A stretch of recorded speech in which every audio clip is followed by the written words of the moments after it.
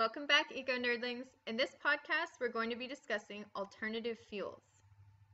By definition, alternative fuel is any fuel that meets certain emission standards, or they give off a certain amount of pollution or less. There are several laws that are involved with clean emissions. We have the Clean Air Act amendments of 1990, the Energy Policy Act in Texas of 1992. Some of these laws have led to more research and development of these alternative fuels. So some of the examples of alternative fuels include biodiesel, diesel, biogas, hydrogen cells. So for biodiesel, it's made out of vegetable oils and alcohols. However, biodiesel is very expensive to make. Diesel is cleaner than normal gasoline and it's being more refined. Biogas is a byproduct of decaying vegetation, but we do need more technology. Hydrogen is very expensive, and we need more technology for that as well. Ethanol, and methanol are alcohols, and they're not as efficient as far as miles per gallon, and we don't have all of the technology we need to make them as efficient as we, as we possibly could. Also, if our grain supplies are used to make fuel, are we going to have enough grain to feed the world? Natural gas is also an alternative fuel. It's expensive, and we do need more technology. We also have reformulated gasoline, which is regular gas that's been further refined to remove some of the more toxic pollutants. And then we have propane, which is most usable form of alternative fuel, but it's not as efficient as well as miles per gallon go. We have syngas, which is a synthetic gasoline. It's man-made and it's made out of hydrogen and carbon monoxide. And we do need more technology in order to use this as well. So as far as hydrogen goes, there's some energy experts that view hydrogen gas as the best fuel to replace oil during the last half of the century. However, there are several hurdles that we need to overcome before hydrogen gas can be readily available. First of all, hydrogen is chemically locked up in water as well as organic compounds, and we have to have a way of extracting that efficiently. It takes energy and money to produce it, and the net energy is low. The fuel cells that we use to store that hydrogen energy are also very expensive, and hydrogen may be produced by using fossil fuels. So some of the other energy laws include the Public Utility Holding Company Act of 1935. This regulated the interstate flow of energy, and it was actually the first law of its kind. This was a law that designated to protect consumers from corporate abuse of electricity markets basically they didn't want to have one electrical company having a complete monopoly over all of the electrical consumers. So the electric companies couldn't price gouge. And this actually started happening during the Great Depression. So we also have the Corporate Average Fuel Economy Act of 1975. This focused attention on the efficiency of cars. Mile per gallon stickers were actually required. So any car lot or car dealership you go to typically has a little sticker that denotes the miles per gallon of gas that a car will get. We also have the Public Utility Regulatory Policies Act of 1978. This is when higher utility rates were given for increased electricity usage. So this was basically trying to motivate people not to use as much electricity. So what about converting plants and plant wastes to liquid biofuels? How does that occur?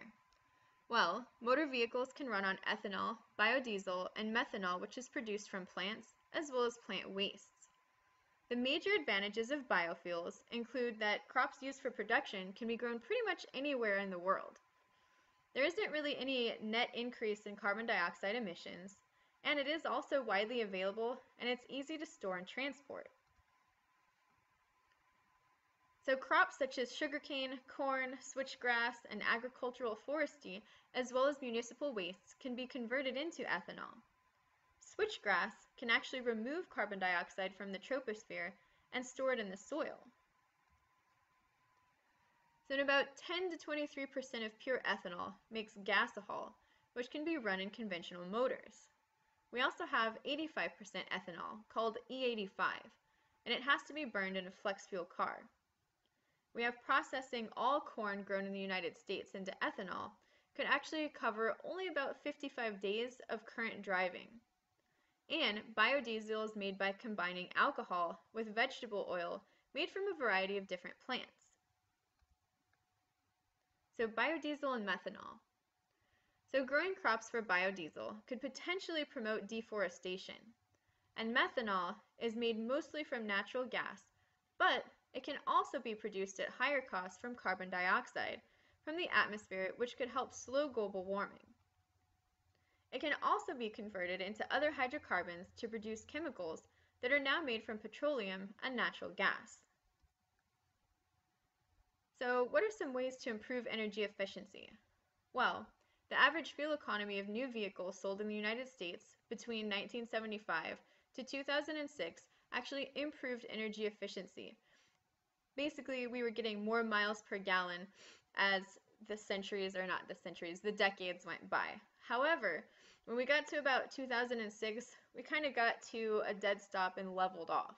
So if you look at this graph, starting in about 1975, most vehicles were getting between 10 and 15 miles per gallon of gas. And as we went along in our years and got closer to 2000, the gas efficiency went up and we got about an average of 25 miles per gallon. Unfortunately, this hasn't really increased after 2006 too much. You do start seeing uh, more in the market, you know, a little bit more hype about hybrid cars and electric vehicles and things like that. But the government or the corporate average fuel economy has not really increased after 1985. So looking at the way that a hybrid car works, it has general features of a car that are powered by hybrid electric gasoline engine. So, and they're called gas sipping cars. They do account for about less than 1% of all new car sales in the United States. So that means there's not too many people driving hybrid cars out there, and that's unfortunate.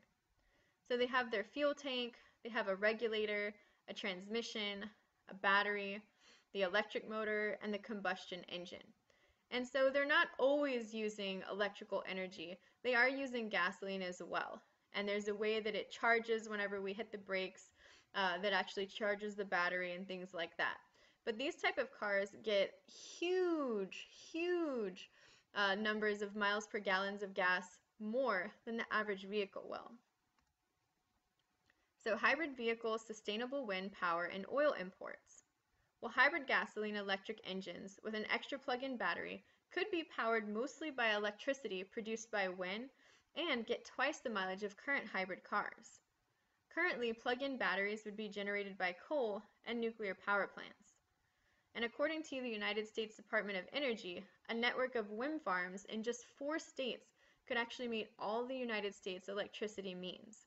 So this is something that your generation has to look at in the future of how are we going to get around our energy crisis. So we also have fuel cell vehicles.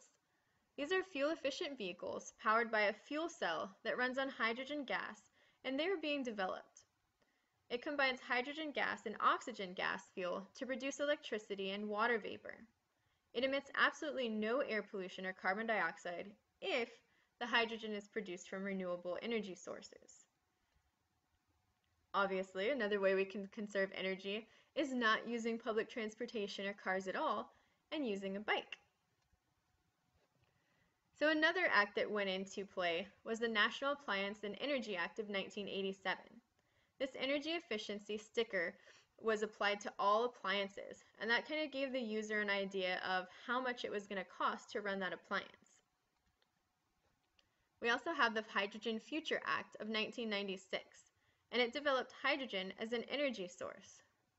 The problem with a lot of these acts are that we actually had to provide money needed for research and renewable resources if we're going to use these. And there's not a lot of money that's given to research and development currently. Well, I hope you learned a little bit about alternative fuels. If you'd like to rewatch this video lecture or any others for AP Environmental Science, please visit my website at www.nerdlingscience.com. Well, this is the Queen Nerdling signing off for now. Stay nerdy till next time.